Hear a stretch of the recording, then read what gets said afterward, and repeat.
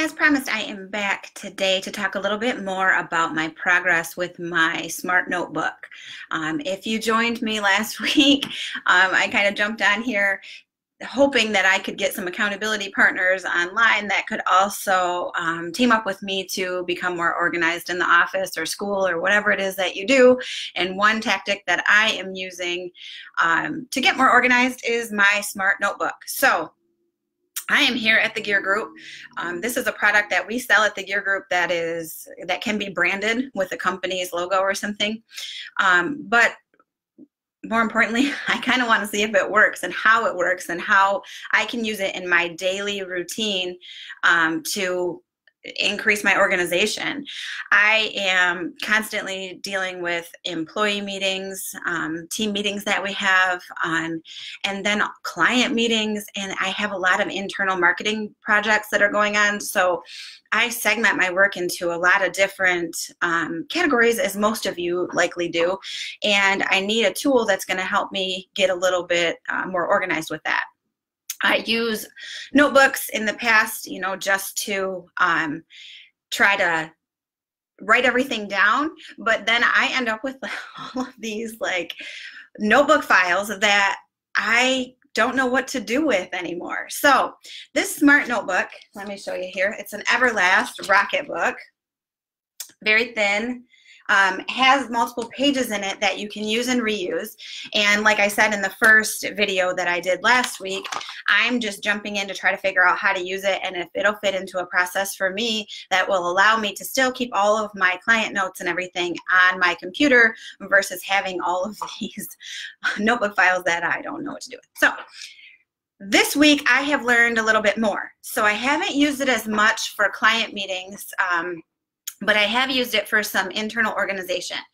Um, I actually have a marketing project going on where I'm working on a postcard. So to communicate those changes to the designer here, I would normally just um, kind of send her a message in what we use to um, communicate job progress internally, um, just kind of like our CRM. Anyway, uh, this time I chose to write out those changes in my Smart Notebook, and I did that.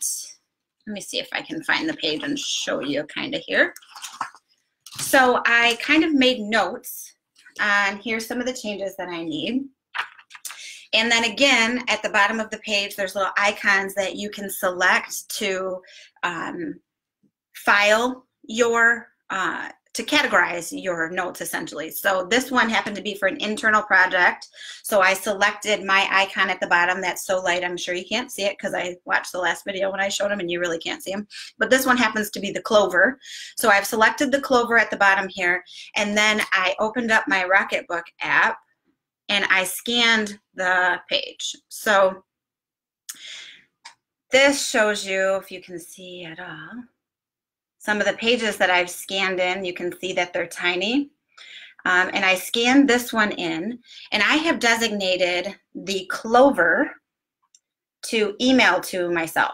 So whenever I scan in a page where I've selected the clover, it emails to my carly at thegeargroup.com email.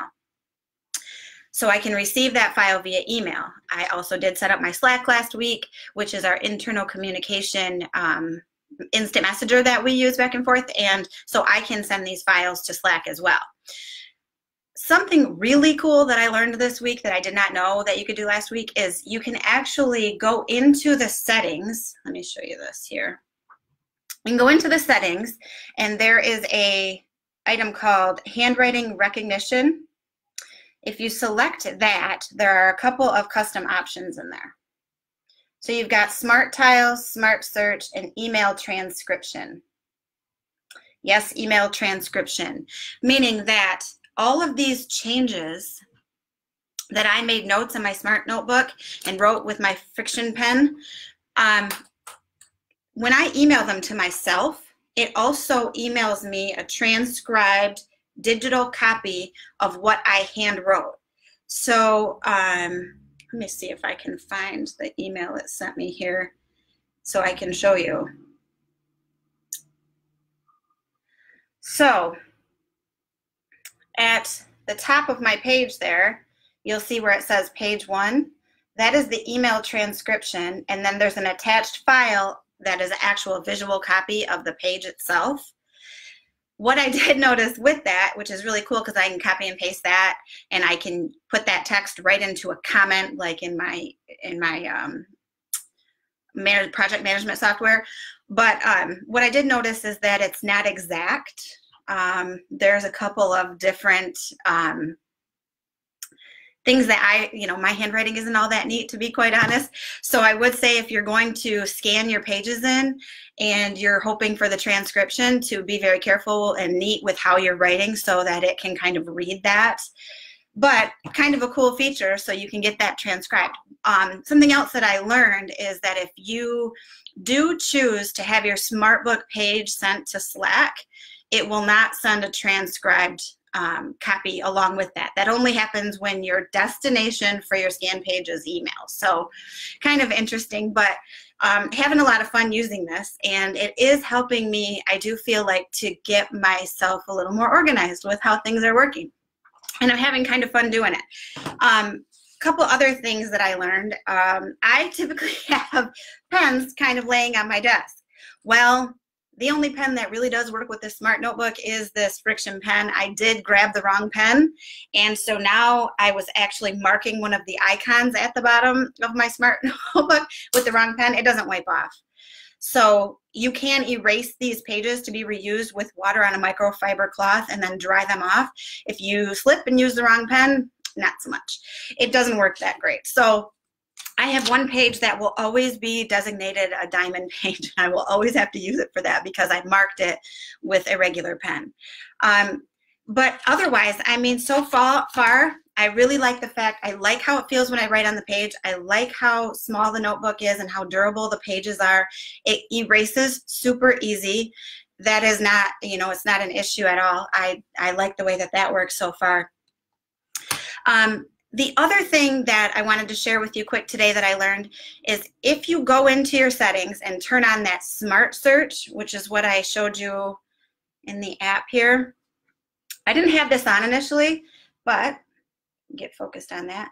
The smart search, if you make sure that that's on, you can actually search your handwritten files in here. So right now it's not so much of an issue for me because I only have a handful of files in my in my uh, app here.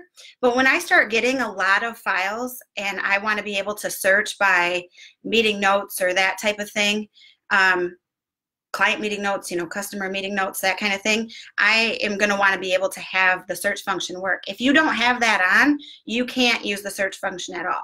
I do have it on and I noticed that on my little, the files that I've uploaded or scanned in since I turned that function on, it has like the little search magnifying glass next to it. So that content is now searchable. I will continue to test to see if it actually, you know, how sensitive that is and how much it can read my handwriting to um, have the search functions work. But I think that's kind of kind of cool too. So, um, so far, I would say overall that I would recommend using a smart notebook. I do think it's going to be good for me. I like the way that it's working so far, and I will log on again next week and kind of let you know what else I'm learning and how it's working. And if you are trying anything new with organization that you want to share, let me know. Or if you are interested in getting a smart notebook and, and sharing with me how you're using it. I know there's a lot of destinations, for example, um, that I'm not using. Um, you know, at Google Drive and and uh, there's an Evernote actually destination that you can send your files to, and um, the cloud and that kind of Dropbox. So um, creatively, you know, thinking of other ways that people are, if you're if you're putting them out to those different areas i'd like to know how that's working and what you, anybody finds out about that. Um, and something i'm also not doing that others might be doing is i'm not drawing pictures in mine. You can draw pictures in yours and use that.